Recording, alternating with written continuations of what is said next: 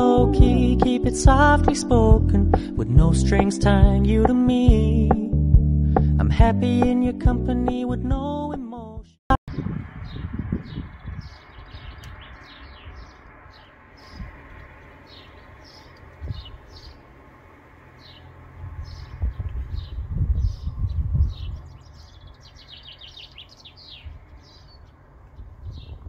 So, good morning po sa lahat. Yan yung outside view natin today. Napakaganda. Perfect din siya kasi lalabas ako.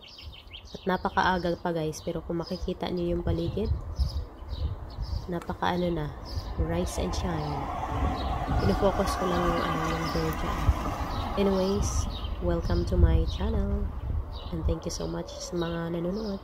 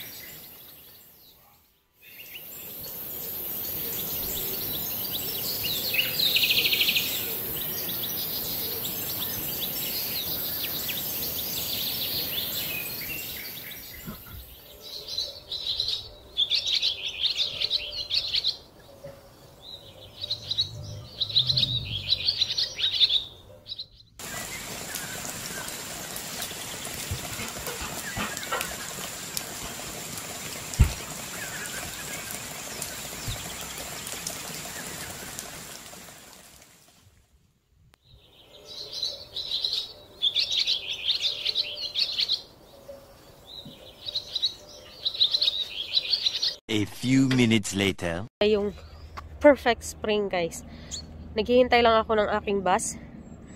Kasi may klase ako ngayon. So, see you in a while. Ayan, oh, napakaganda na. Maaraw. Tsaka mainit na talaga siya. So, hello guys and welcome back to my channel. Officially, nagbabalik ang inyong lola. So, last week guys, hindi talaga ako nakapag-vlog. Yung, although may mga upload naman na ako. Pero hindi talaga yun siyang ano, masinsina na usapan talaga. Kasi, ang dami-daming nangyayari. So, hindi dahil nawala ng gana or sa kung ano-ano pa. Although minsan, nawawalan ka talaga ng gana mag-YouTube. Pero dahil na rin siguro, dahil sa kabisihan ba. Yung tipong minsan, knock-out talaga ako pag uwi ng bahay kasi kasi nga, wala akong ano na eh, wala akong time na mag ano na eh, magpahinga. Yung sa gabi, pag gabi lang talaga. Pero okay lang naman sana, basta, basta, hindi din ako totally na masaya. Kaya, yung ano ko guys, yung work na inano ko last time, i-workout ko na lang siya every ano, lunes na lang. Nag-stop ako sa Wednesday para may time naman ako. Kasi, by next month nga, may ano ako, may exam ako. So, kailangan ko ng more time para makapag-study or kung maka yung gagawin yung mga bagay na gusto ko. Kasi masyado na talaga akong ano, beat up.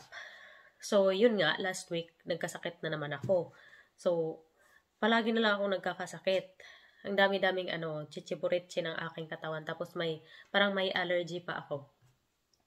Kung makikita nyo, palagi akong nag-ano, nagbiblink both of my eyes. Napakakati niya, guys. So, tignan ko mamaya kung gamitin ko yung ano, hini, um, hining. Yun yung word na lagi kong ginagamit, hining. Sa Bisaya ba? So, gamitin ko try yung ano, yung binigay ng asawa ko kasi pang-allergy daw yun. And we'll see. Tapos, update din sa aking ano guys, sa aking bulaklak. Ito, oh.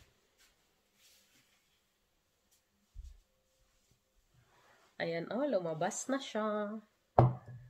Dalawa na yung lumabas. Tapos yung lima hindi pa. Ayan, oh, ang ganda lang, di ba? Tapos yung isa din dito. So, lumabas to siya nung isang araw ito. Tapos kahapon naman yung isa. Ganda lang, di ba? Kailangan ko siyang i-transfer ulit. Yung maayos naman yung lalagyan niya minsan. Ay, next time ba? So, kung makikita nyo, basa pa yung buhok ko. Kakaligo ko lang.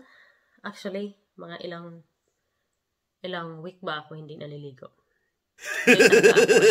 Of, ano, maliligo guys pagdating dito. Nung sa Pinas pa ako, everyday kahit ano, dalawang beses, tatong beses, okay na okay sa akin na maligo araw-araw. Pero pagdating dito sa Europe, everything has changed talaga. Yung tipong everyday or two times, three times a day naliligo ngayon, once a week na lang.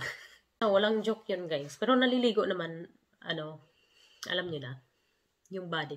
Pero yung ano ba, yung buhok, hindi ko talaga siya binabasa bukod sa nakakapagod, ano din talaga, time consuming. Kaya nga, oh, this is one of the reason kung bakit pinutol ko yung buhok ko. But sad to say, ang dami kong ano, ang dami kong kaspa. So yun nga, life update natin guys. Lumalayo tayo, life update natin. So yun nga, by next month, kailangan kong mag-focus sa aking ano, sa aking language kasi nga ang daming ang daming darating. Tsaka kailangan natin more time Although, sa mga ano guys, sa mga, for those ano, ano ko lang din, isi-share ko lang din. For those who were, ano, Pinays na gustong pumunta dito, na gustong magtrabaho agad, pwede kayo makapagtrabaho naman na agad. As long as makukuha nyo na yung, ano yun, yung upholds. So, yung makukuha nyo na upholds, yan yung palatandaan na pwede kayong magtrabaho na, pwede na kayong mag-schooling, whatsoever. So, sa mga nagtatanong, na mga kaibigan ko or sa mga Pinay na gustong magpunta dito tapos trabaho agad yung tirada talaga, pwede naman kayo magtrabaho. Depende yun sa inyo. Maganda talaga din kapag ka, ano, kapag ka ganyan, na, na may ano kayo, may sasakyan na at saka may ano, syempre, um, driver's license, di ba? Eh ako kasi wala pa. Tapos, pinofocus ko rin talaga yung ano guys, yung study muna ngayon. Although noon sinasabi ko gusto kong magtrabaho. Gusto ko naman din talaga magtrabaho. Kaya lang hindi mo pwede talagang pagsabayin yung dalawa at the same time. Lalong-lalo na ngayon na papalapit na yung exam ko. Although for some, napaka-easy lang naman yun. Pero pagpasensyahan nyo na guys at ako'y hindi gaanong kaano, hindi gaanong ka-bright. Kaya kailangan ko ng ano, one step at a time. Tapos, yun nga. Napaka ano, napaka tricky ng ating buhay ngayon. Basta ang dami-daming nangyayari. So, kanina sa school may nag ano na may nag-discuss sa amin. Kasi nga kahit ano ka pa guys, kahit tapos ka pa ng kolehiyo doon sa Pinas or kung anong bansa ka man, normally Asia, hindi talaga siya magka-counted. Kunyari nakapagtapos ka ng bachelor's degree or college degree sa sa lugar ninyo, hindi talaga siya magka-counted pagdating dito. Although some naman nagka-counted siya, pero mostly hindi. Kasi nga, ibang-iba yung ano natin eh. Iba-iba yung um, process ng ano natin, education natin. So, that is one of the main reason kung bakit babalik ako sa parang mini klase nila, yung 9th grade nila dito. So, napaka-basic kung iisipin mo. Pero nang dahil sa, ano, nang dahil sa language nila, hindi mo matatawag na basic. So, good luck to me na lang. So, that's going to be really soon kasi my, ano, my first exam would be on Ma May 19. So, that's going to be my first exam and the next time around, although I am not totally yung 100% na nervous talaga pagdating dito. Ang naanuhan ko talaga guys, na-worried ako pagdating na sa ano, sa yung sa nini klase. Kasi alam ko medyo mas ano, hard 'yun. Tsaka may math din siya and I hate math. Alam niyo 'yun. Hindi hindi ko talaga gusto yung math. So, ang dami-daming nangyayari, kaya hindi ako nakapag-vlog ng bongga, guys. Pero, kung napapansin niyo may bago kaming plans. Ayan. It's been really long time that I really wanted to have a house plant, yung malalaking house plant dito sa bahay. Kaya lang yung asawa ko ay allergic ako. Ay ganyan, ganyan, ganyan. Tapos nung pumunta kami ng ano, IKEA the other I think few days ago, last weekend. Yes, last weekend, that was few days ago. Grinab ko na talaga siya kasi napaka-cheap lang yung plant, tsaka ang laki na. Tapos, kag bibili ka sa mga Aldi, sa mga stores na malapit dito sa bahay, naku, aabuti ng almost 200 yung ganyang kalaking plant. Eh doon, napakamura lang. Kaya sabi ko sa kanya, bahal ka dyan, kukunin ko talaga to. Kasi namili nga kami ng mga ano, kitchen, kitchen stuff. So, yan, isa yun yan sa nakuha ko. Tapos, basta, by that time, nag, may sakit pa rin ako. By weekend kasi, hindi pa rin ako feeling better. Tapos ngayon naman, yung asawa ko yung nagkasakit na naman. Ganito talaga ang mangyayari kapag ka mag-change yung weather all the time, all the time. Pero ngayon guys, I'm pretty happy kasi alam nyo, lumalabas na talaga yung araw. Ngayon, it's almost 7 I think. Tapos yung araw, oh, napaka, ano pa, napaka shiny pa sa labas. Yan yung kagandahan pag padating na yung summer. So, ang daming-daming ganap sa aking buhay. So, I'm just trying to give you guys an update. Although, alam ko namang hindi ako sikat, kaya walang naghihintay ng aking update. But I just wanted to share it with you guys. At pagpasensyahan nyo na yung aking mata kasi nga, parang ang laki-laki ng eye bags ko, no? Pero kompletong-kompleto yung tulog ko, guys. Sadya lang talagang parang allergic ako into something na hindi ko maisip kung ano. Kasi wala naman kaming bagong nilagay dito sa bahay.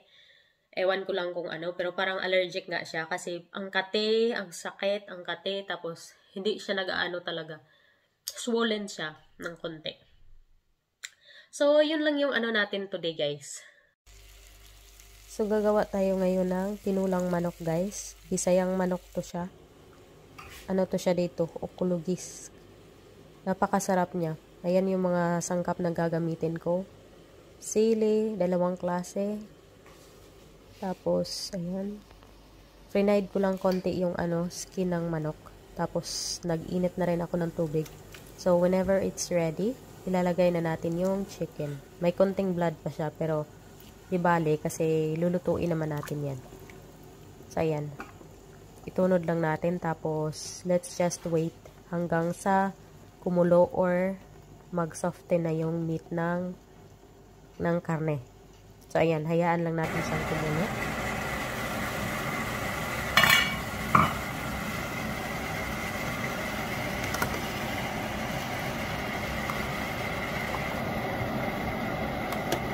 Kung makikita niyo yung skin ng manok guys, napakataba niya.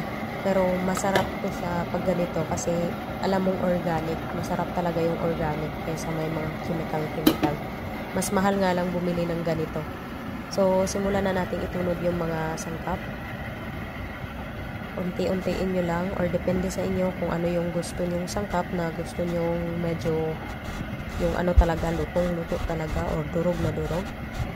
Sa akin, ilagay ko sa huli yung ano ya um, parang pichay or bok choy ba yan so ayan itunod ko siya tapos pakuluan ko ulit tapos lagyan nyo lang ng seasonings. Depende sa inyo kung kailan yung lagyan ng seasonings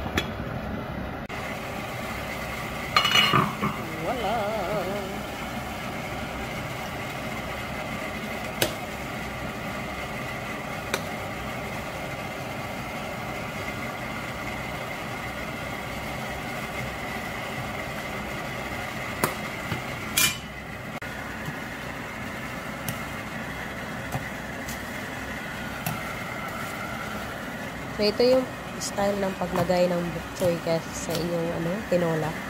Kapag ka nagagamit kasi kayo, nag-video kasi kayo, ang hirap mag ano, ang hirap mag focus dun sa ginagawa mo. Kaya ang ginagawa ko, inuspusok ko lang sa kutsilyo yung ano, yung pichay.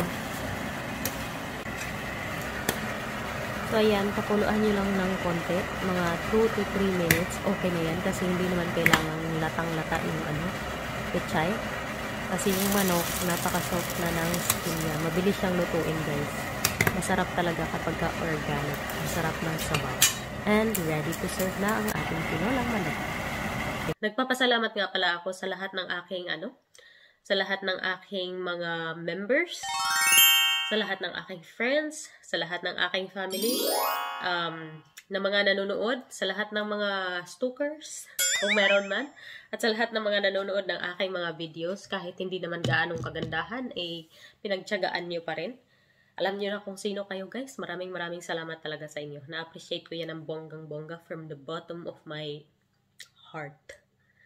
So, see you, see you on my next vlog. And I hope you guys are having a great day or a great week ahead.